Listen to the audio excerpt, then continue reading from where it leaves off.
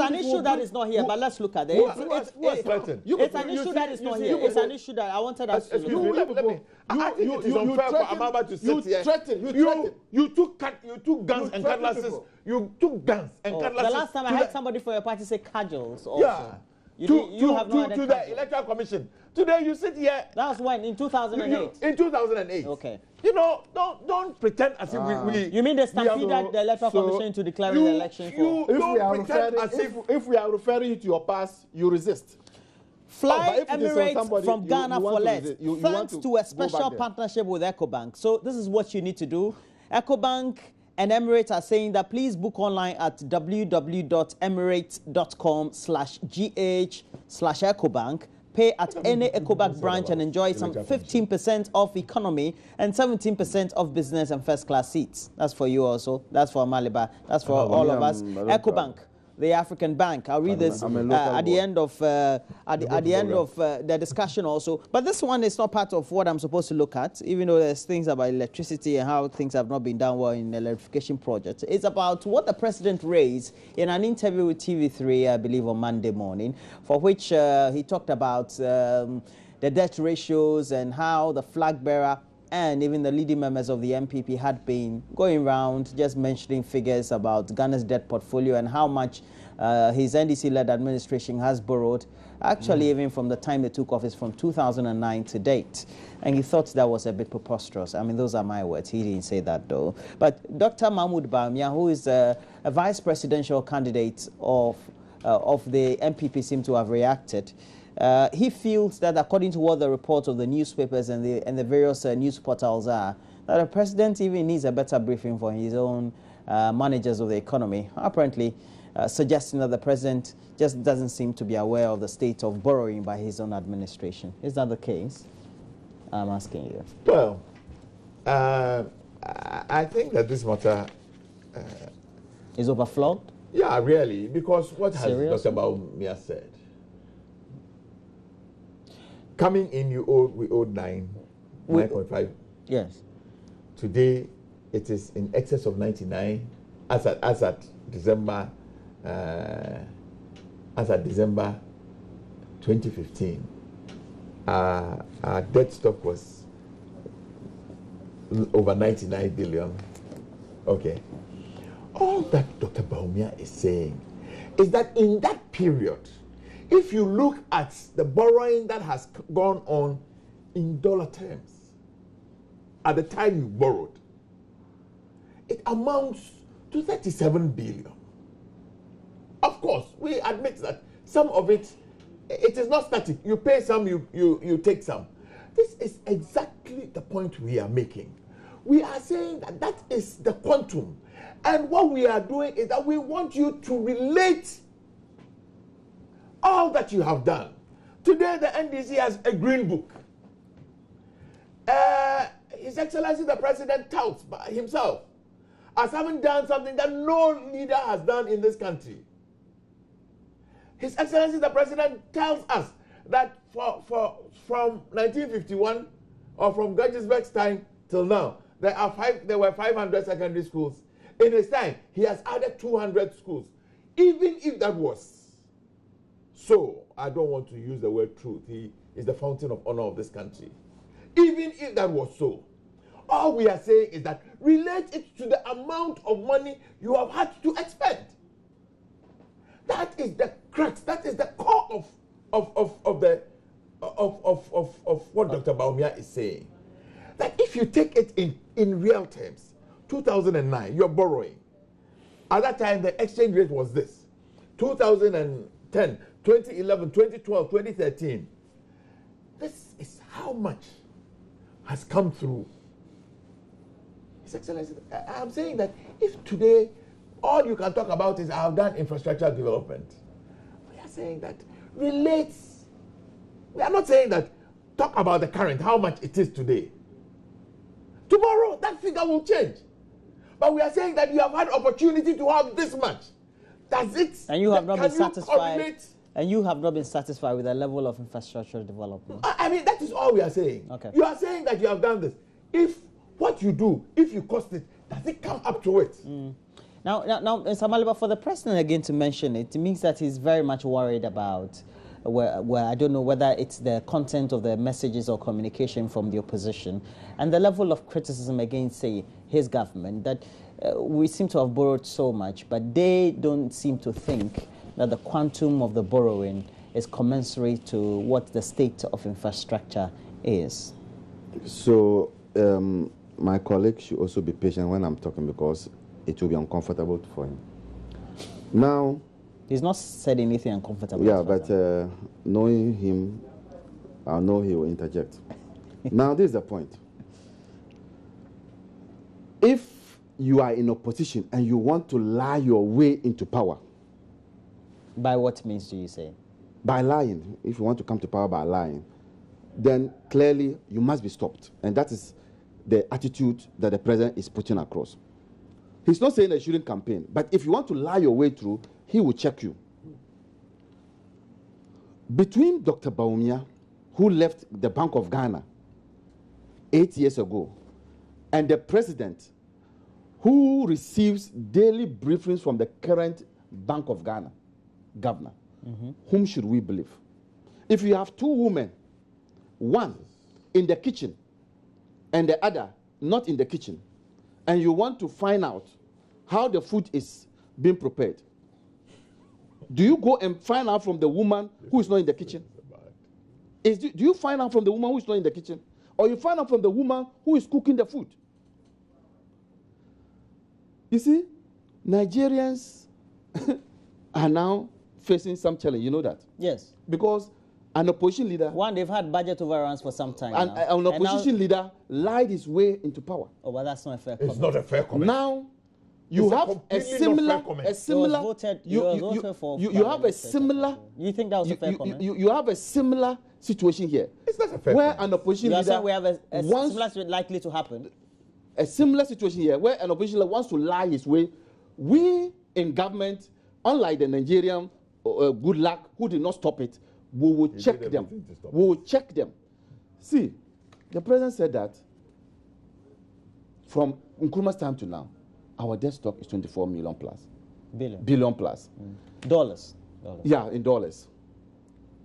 Between Baumia and Nana Akufo-Addo, there has been two figures. There's 34 But billion. we have an insight of Nana Akufo-Addo The- mentioning the- 37. Uh, then you have 37. 24. now, which of the two is the greatest 37. liar? Which of the two? Which of the two? Which of the two is lying? Everybody Which of the two? said Even within the MPP. Now, I read something from uh, uh, uh, Mustafa Hamid saying that if the president said Nana Akufo-Addo lied, he passed the back to Baumia. That that figure came from Baumia. So within themselves, they are now passing the back and saying that Nana Akufo-Addo lied because Baumia lied to him. This cannot be. We know that you want to come. There's desperation. Nana Akufo-Addo has gone on three times. He has no campaign message. His campaign message is now we are begging you, Someshe, Someshe.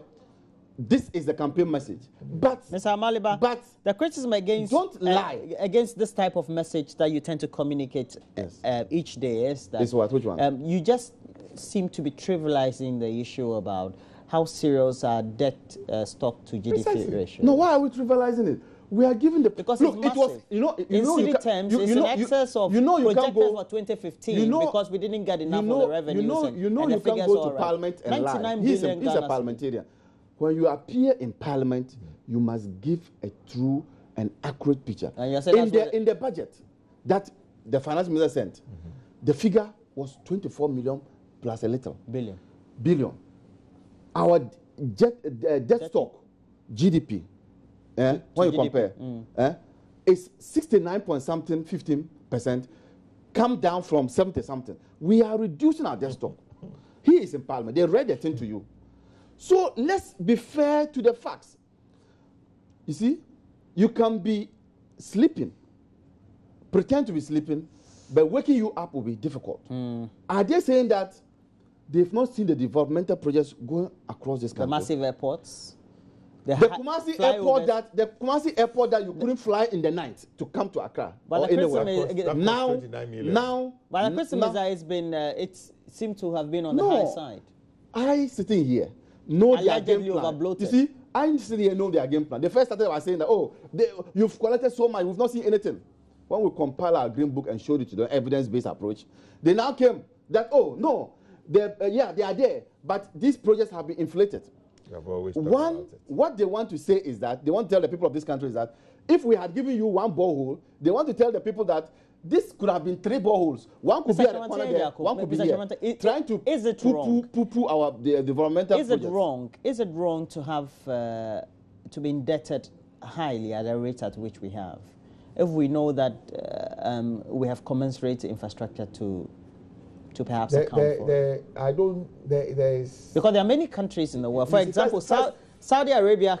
Okay, we can compare ourselves to Saudi No, Arabia. No, not but uh, yeah, it is clear. Let's- there are some countries which uh, whose debt portfolio but rates are rates. are, are higher than rates are rates. They are higher than their. but but I. I just is it wrong generally? Is it I wrong? don't think that every every business Because person- because because we're not Djibouti. I'm not. I'm, okay, are you done? Can I'm I done, Ask, I'm done, Can I ask I'm done. Mm. First and foremost, let me say that you see, I think it is unfair for Amaliba to sit here and talk about what happened in Nigeria, that a leader lied.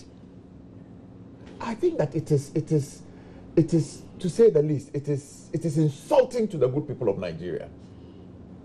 Yeah, and he has no business.